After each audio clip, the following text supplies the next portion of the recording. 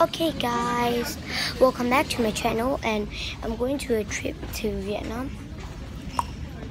It's like, it's not the first time I went, but, so this is my country so I came here a lot of time.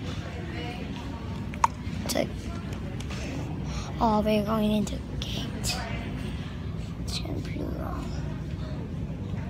Come on.